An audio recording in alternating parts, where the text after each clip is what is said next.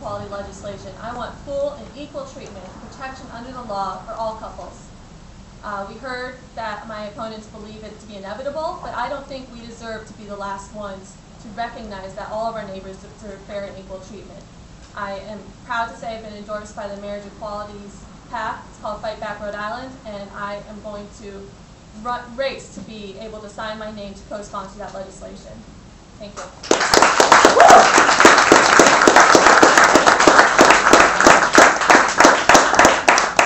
To answer the questions, I want to make sure I'm answering this right. Yes I support full marriage equality. I'm excited to sponsor that legislation in the Senate um, and just look forward to uh, bringing Rhode Island into the forefront and, and of a state that's welcoming to all members of this community.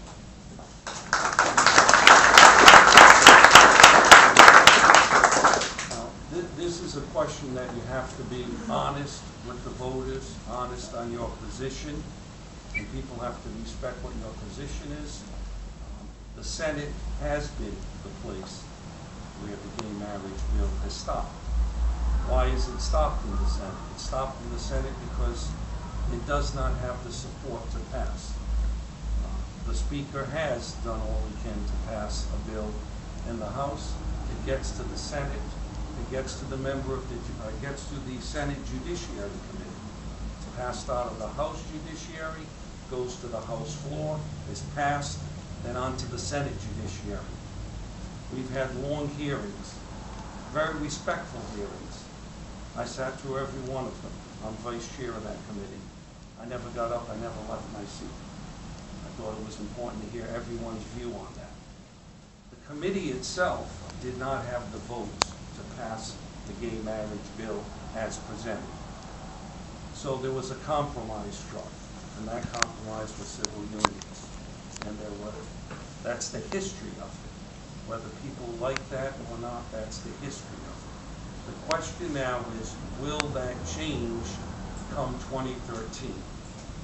Will there be such a change in the membership that the bill will pass? And I think the honest answer, one of the gentlemen sitting here who's been an advocate, he's Mm. come there, he's seen the process. Mhm. We've talked, I don't think they have the votes to get it out of the Judiciary Committee. And my position is I supported civil unions. I supported the Goldman Act.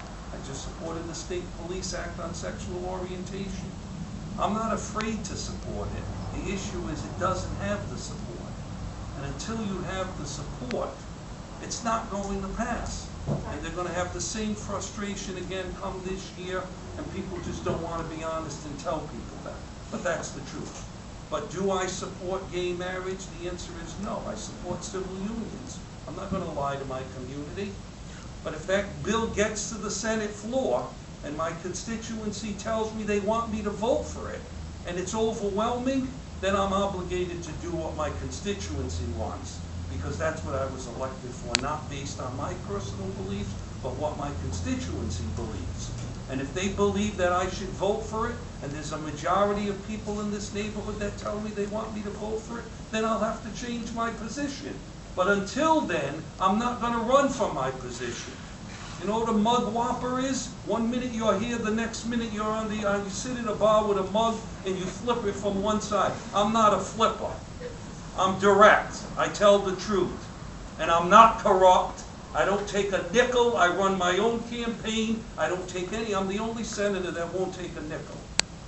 Someone called me Senator Take Nothing. I don't take the Blue Cross, I don't take the pay increase, and I've never taken a political contribution. I send letters back every day to people saying, I don't want any money. I don't accept money, I pay for the campaign myself. I am ethical, and I cannot be compromised, and that's the best thing for this district. Thank you very much.